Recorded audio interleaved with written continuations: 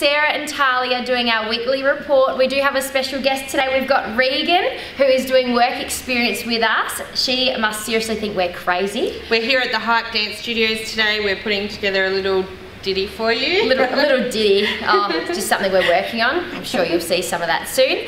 Um, so Regan is here on work experience. She's been a gem so far. Yep, she's from the Riverland like me, so something in common there, Sarah. Um, today we thought we'd just do a quick report and talk about what's going on. Last week in our weekly report we spoke about some exciting news that we had. We did. That was that we had the final finance approval for our subject to sales. Mm. That has been the one of the biggest ones we've had for a very long time. So Yeah. finally all those properties got their sold signs. I know, so we got to put, yeah, four sold signs up in one day and there was a fifth one that was done earlier. So Yeah.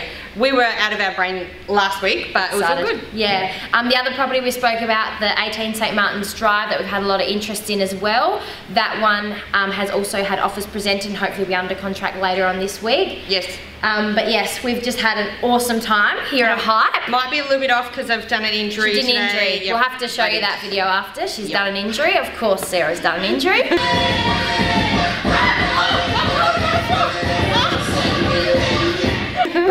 been a lot of fun. We have to thank Beck from Hype. Yes, Beck, come, We'll come, get come. To We'll get her to come in here.